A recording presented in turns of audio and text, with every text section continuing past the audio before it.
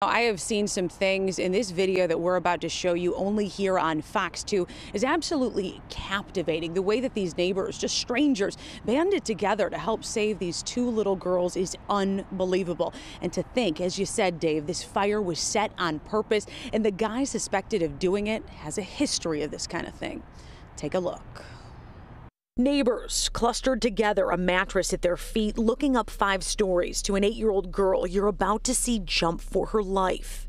She hurls herself out the window, caught, not a scratch on her. Still trapped above, her 14 year old sister and mom, fire blocking their only exit, the door. The window is the only option. The eight year old piling up clothes on the mattress to try and cushion her family's falls. Her sister comes down next in a panic, hitting the mattress hard, breaking both ankles and her wrist. Other injuries too, but she lived. Many times, people who try to jump out windows that high, um, it's a different outcome. Detroit Fire Commissioner Charles Simms says it was all caught by green light cameras positioned outside their apartment building in the New Center neighborhood in Detroit earlier this month.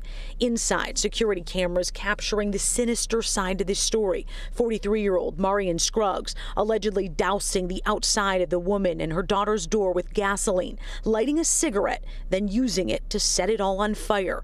Scruggs apparently used to be in a relationship with the woman. This person person tried to kill not just the whole family, but any and everybody that was in that building. But what happened outside is what they're focused on. The neighbors catching that little girl, this man ripping off his own sweatshirt to keep the 14 year old warm, then carrying her to safety. The Detroit firefighters who used their ladder to save mom, and Detroit police catching Scruggs within 24 hours after he lit this cigarette. And here's a, a living example of those three coming together and saving the lives of, of people who were victimized victimized by domestic violence. Scruggs has a history of domestic violence. We learned back in 2019 he was charged for lighting a girlfriend's home on fire purposely to trap her dogs inside. One of them died. Unclear if it's the same victim this time. Commissioner Simms says for these folks, instinct kicked in out here, saying most people do want to do good. You know, some people don't need the, the attention or the accolades, but we want to show them that not only are firefighters, EMTs, and, and police officers are heroes, but even citizens out there in the neighborhood, they're heroes as well. The eight year old little girl and her mom, they are okay, but the 14 year old girl, we talked about this story, two broken ankles, a broken wrist, and other issues, but she is recovering.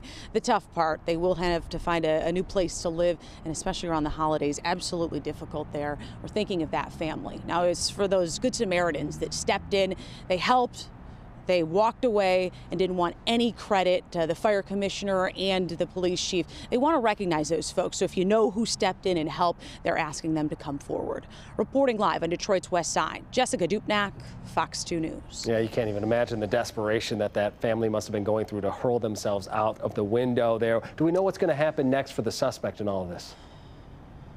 Suspect has been charged, charged and arraigned, a list of felonies, and he has those priors. I have a feeling he is not going to be getting out anytime soon. But uh, you got the video there. It's a pretty damning case against him. Certainly is. Thank you, Jessica.